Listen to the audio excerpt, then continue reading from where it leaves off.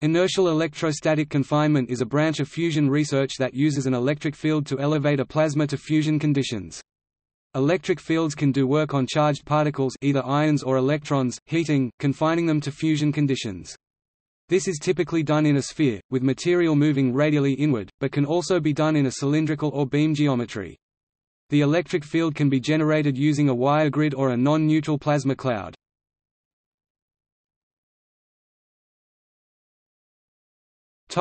Mechanism For every volt that an ion is accelerated across, its kinetic energy gain correspond to increase of temperature of 11604 kelvins. For example, a typical magnetic confinement fusion plasma is 15 keV, or 170 megakelvin. An ion with a charge of 1 can reach this temperature by being accelerated across a 15,000 volts drop. In fuses, the voltage drop is made with a wire cage. However high conduction losses occur in fuses because most ions fall into the cage before fusion can occur. This prevents current fuses from ever producing net power.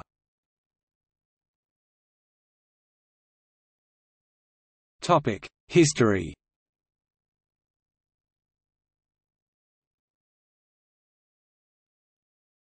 Topic 1930s. Mark Oliphant adapts Cockcroft and Walton's particle accelerator at the Cavendish Laboratory to create tritium and helium-3 by nuclear fusion.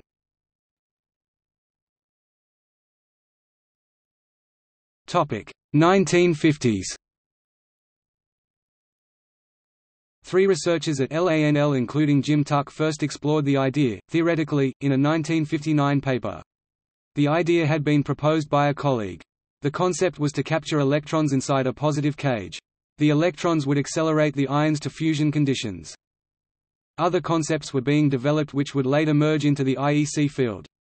These include the publication of the Lawson criterion by John D. Lawson in 1957 in England. This puts on minimum criteria on power plant designs which do fusion using hot Maxwellian plasma clouds. Also, work exploring how electrons behave inside the biconic cusp, done by Harold Grad Group at the Courant Institute in 1957.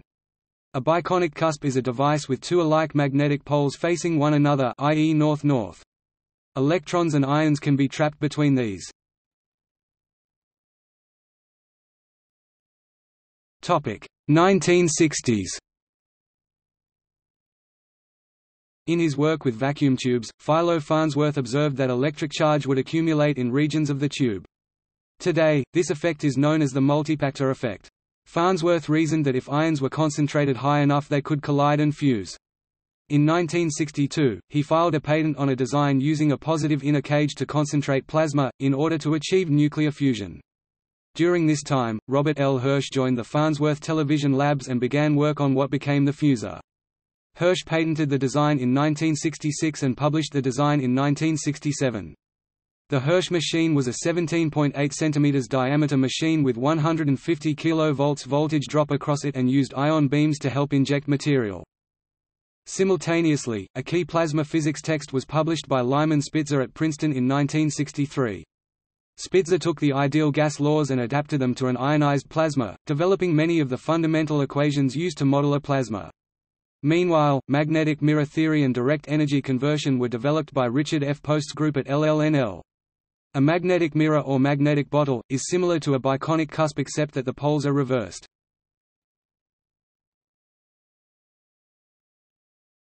Topic 1980s. In 1980 Robert W. Bussard developed a cross between a fusor and magnetic mirror, the polywell. The idea was to confine a non-neutral plasma using magnetic fields. This would, in turn, attract ions. This idea had been published previously, notably by Oleg Lavrentiev in Russia. Bussard patented the design and received funding from Defense Threat Reduction Agency DARPA and the U.S. Navy to develop the idea.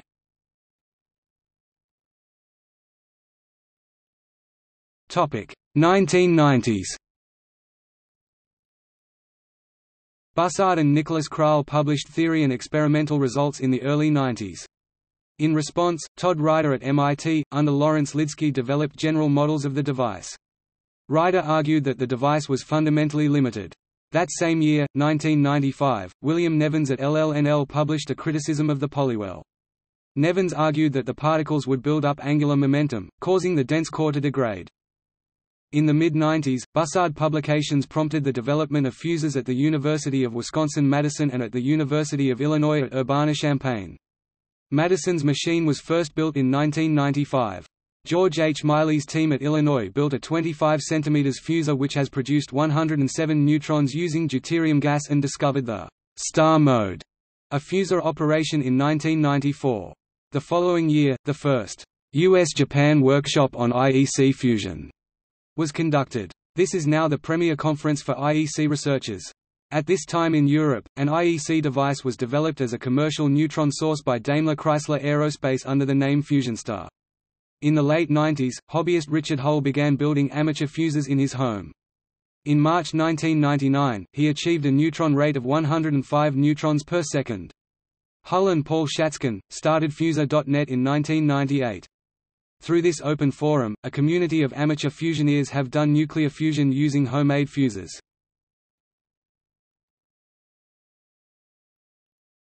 Topic 2000s Despite demonstration in 2000 of 7,200 hours of operation without degradation at high input power as a sealed reaction chamber with automated control the Fusion Star project was cancelled and the company NSD Limited was founded. The spherical fusion star technology was then further developed as a linear geometry system with improved efficiency and higher neutron output by NSD Limited which became NSD Fusion GmbH in 2005. In early 2000, Alex Klein, developed a cross between a polywell and ion beams. Using Gabor lensing Dr. Klein attempted to focus plasma into non-neutral clouds for fusion. He founded FP Generation, which in April 2009, raised $3 million in financing from two venture funds. The company developed the mix and marble machine, but ran into technical challenges and closed. In response to Rider's criticisms, researchers at LANL reasoned that a plasma oscillating could be at local thermodynamic equilibrium, this prompted the POPs and Penning trap machines. At this time, MIT researchers became interested in fuses for space propulsion and powering space vehicles. Specifically, researchers developed fuses with multiple inner cages. In 2005, Greg Pfeffer founded Phoenix Nuclear Labs to develop the fuser into a neutron source for the mass production of medical isotopes. Robert Bussard began speaking openly about the polywell in 2006. He attempted to generate interest in the research, before passing away from multiple myeloma in 2007. His company was able to raise over 10 million in funding from the U.S. Navy in 2008 and 2009.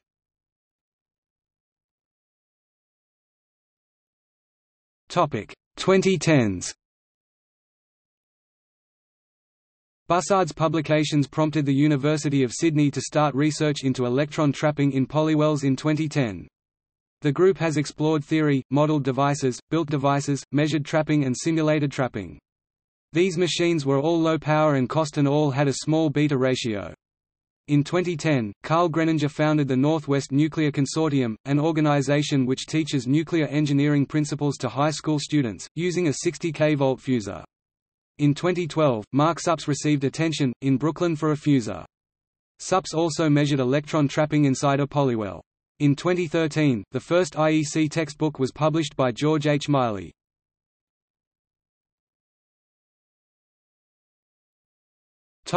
Designs with cage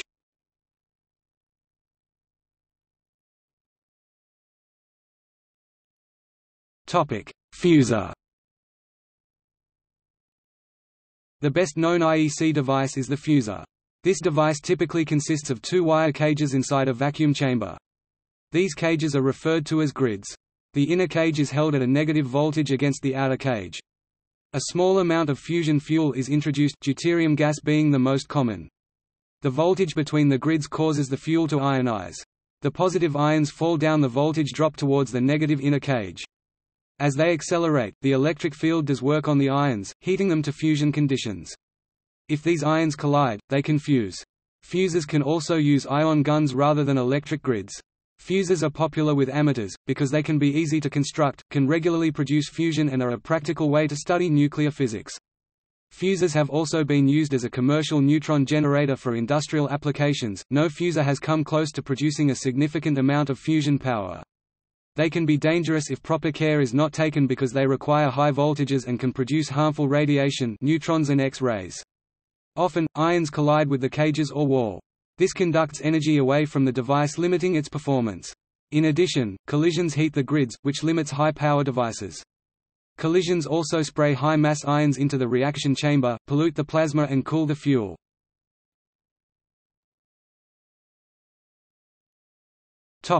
POPs In examining non-thermal plasma, workers at LANL realized that scattering was more likely than fusion. This was due to the Coulomb scattering cross-section being larger than the fusion cross-section. In response they built POPs, a machine with a wire cage, where ions are moving at steady state, or oscillating around. Such plasma can be at local thermodynamic equilibrium. The ion oscillation is predicted to maintain the equilibrium distribution of the ions at all times, which would eliminate any power loss due to Coulomb scattering, resulting in a net energy gain. Working off this design, researchers in Russia simulated the POPs design using particle-in-cell code in 2009. This reactor concept becomes increasingly efficient as the size of the device shrinks. However, very high transparencies greater than 99.999% are required for successful operation of the POPs concept. To this end S. Krupakar Murali et al. suggested that carbon nanotubes can be used to construct the cathode grids. This is also the first suggested application of carbon nanotubes directly in any fusion reactor.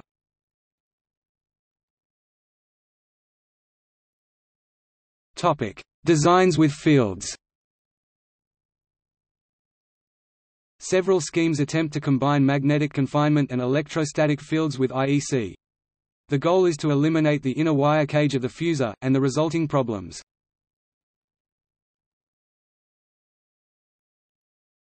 Polywell The polywell uses a magnetic field to trap electrons. When electrons or ions move into a dense field, they can be reflected by the magnetic mirror effect. A polywell is designed to trap electrons in the center, with a dense magnetic field surrounding them. This is typically done using six electromagnets in a box. Each magnet is positioned so their poles face inward, creating a null point in the center. The electrons trapped in the center form a virtual electrode. Ideally, this electron cloud accelerates ions to fusion conditions. Topic: Penning trap. A penning trap uses both an electric and a magnetic field to trap particles, a magnetic field to confine particles radially and a quadrupole electric field to confine the particles axially. In a penning trap fusion reactor, first the magnetic and electric fields are turned on. Then, electrons are emitted into the trap, caught and measured. The electrons form a virtual electrode similar to that in a polywell, described above. These electrons are intended to then attract ions, accelerating them to fusion conditions. In the 1990s, researchers at LANL built a penning trap to do fusion experiments. Their device PFX was a small millimeters and low power one-fifth of a Tesla, less than 10,000 volts machine.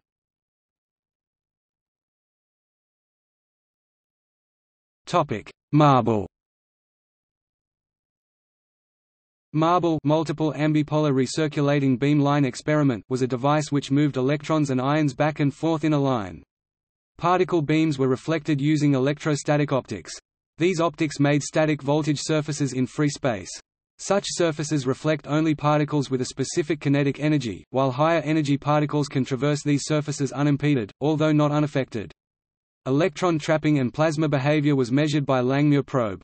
Marble kept ions on orbits that do not intersect grid wires.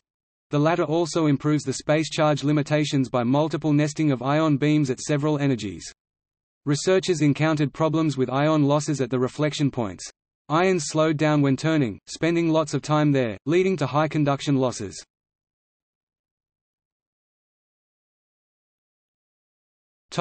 Mix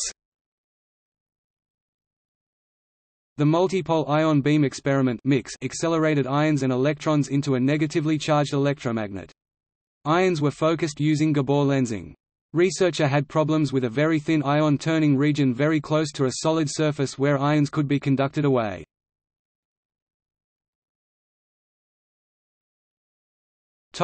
Magnetically insulated Devices have been proposed where the negative cage is magnetically insulated from the incoming plasmas.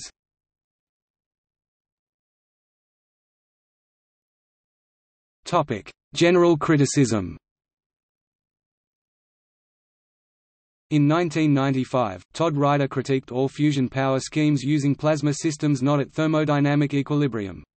Rider assumed that plasma clouds at equilibrium had the following properties they were quasi-neutral, where the positives and negatives are equally mixed together. They had evenly mixed fuel. They were isotropic, meaning that its behavior was the same in any given direction. The plasma had a uniform energy and temperature throughout the cloud. The plasma was an unstructured Gaussian sphere. Rider argued that if such system was sufficiently heated, it could not be expected to produce net power, due to high X-ray losses. Other fusion researchers such as Nicholas Krall, Robert W. Bussard, Norman Rostoker and Monkhorst disagreed with this assessment. They argue that the plasma conditions inside IEC machines are not quasi-neutral and have non-thermal energy distributions. Because the electron has a mass and diameter much smaller than the ion, the electron temperature can be several orders of magnitude different than the ion's. This may allow the plasma to be optimized, whereby cold electrons would reduce radiation losses and hot ions would raise fusion rates.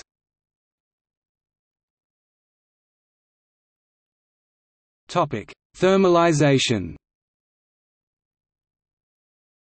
The primary problem that Rider has raised is the thermalization of ions. Rider argued that, in equation-neutral plasma where all the positives and negatives are distributed equally, the ions will interact. As they do, they exchange energy, causing their energy to spread out in a Wiener process heading to a bell curve or Gaussian function of energy. Rider focused his arguments within the ion population and did not address electron-to-ion energy exchange or non-thermal plasmas. This spreading of energy causes several problems. One problem is making more and more cold ions, which are too cold to fuse. This would lower output power. Another problem is higher energy ions which have so much energy that they can escape the machine. This lowers fusion rates while raising conduction losses, because as the ions leave, energy is carried away with them.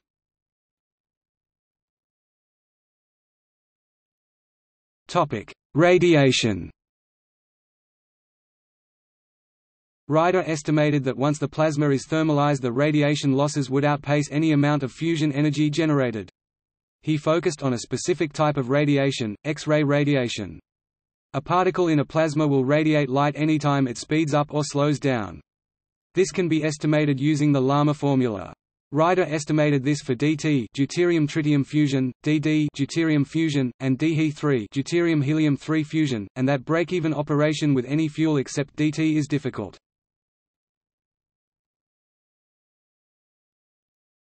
Topic: Core focus.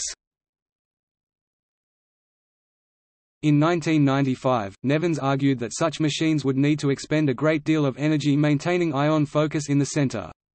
The ions need to be focused so that they can find one another, collide and fuse. Over time the positive ions and negative electrons would naturally intermix because of electrostatic attraction. This causes the focus to be lost. This is core degradation. Nevins argued mathematically, that the fusion gain ratio of fusion power produced to the power required to maintain the non-equilibrium ion distribution function is limited to 0.1 assuming that the device is fueled with a mixture of deuterium and tritium. The core focus problem was also identified in fuses by Tim Thorson at the University of Wisconsin-Madison during his 1996 doctoral work. Charged ions would have some motion before they started accelerating in the center. This motion could be a twisting motion, where the ion had angular momentum, or simply a tangential velocity. This initial motion causes the cloud in the center of the fusor to be unfocused.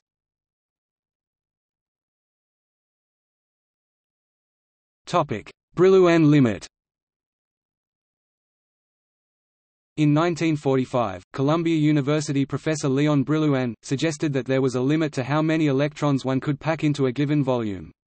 This limit is commonly referred to as the Brillouin limit or Brillouin density. This is shown below.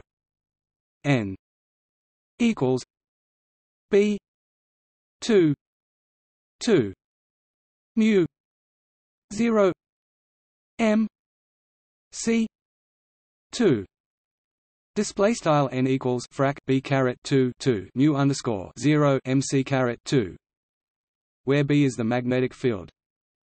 Mu 0 display style mu underscore 0 the permeability of free space m the mass of confined particles and c the speed of light. This may limit the charge density inside IEC devices. Topic. Commercial applications. Since fusion reactions generates neutrons, the fusor has been developed into a family of compact sealed reaction chamber neutron generators for a wide range of applications that need moderate neutron output rates at a moderate price. Very high output neutron sources may be used to make products such as molybdenum-99 and nitrogen-13, medical isotopes used for PET scans.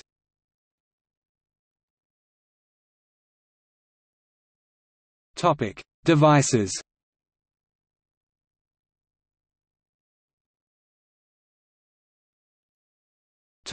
Government and commercial Los Alamos National Laboratory researchers developed POPs and Penning trap Turkish Atomic Energy Authority In 2013 this team built a 30 cm fusor at the Sarıyaköy Nuclear Research and Training Center in Turkey. This fusor can reach 85 kV and do deuterium fusion, producing 2.4 times 10 to the 4 neutrons per second. ITT Corporation Hirsch's original machine was a 17.8 cm diameter machine with 150 kV voltage drop across it. This machine used ion beams. Phoenix Nuclear Labs has developed a commercial neutron source based on a fusor, achieving 3x 10 to the power of 11 neutrons per second with the deuterium-deuterium fusion reaction for 132 hours of continuous operation.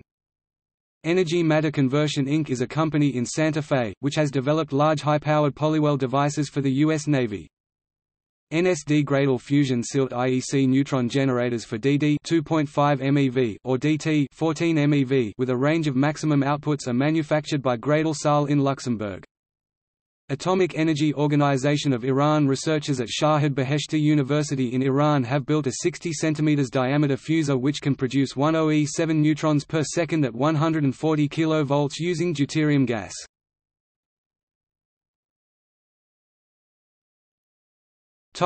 Universities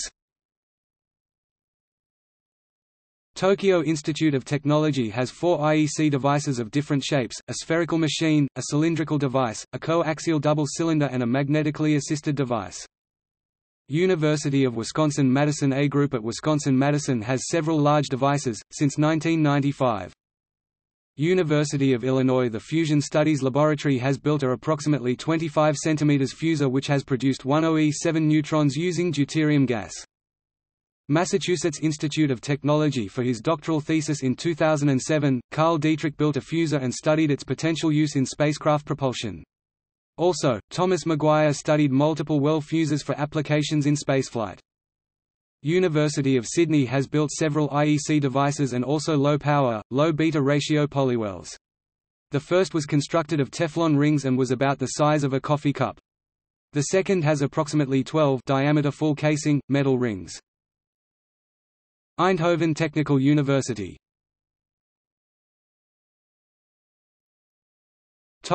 See also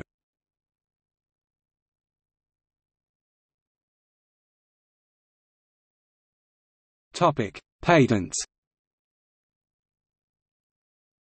P. T. Farnsworth, U.S. Patent 3258402, June 1966 Electric discharge Nuclear interaction P.T. Farnsworth, U.S. Patent 3386883. June 1968 Method and apparatus Hirsch, Robert, U.S. Patent 3530036. September 1970 apparatus Hirsch, Robert, U.S. Patent 3530497.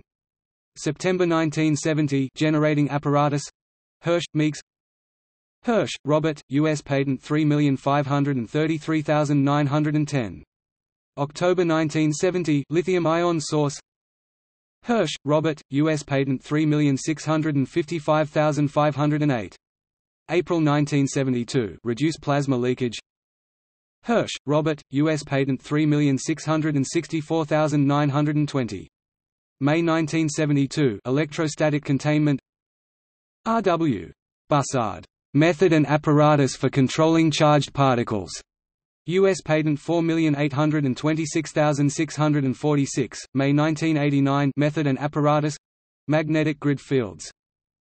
R. W. Bussard. Method and apparatus for creating and controlling nuclear fusion reactions.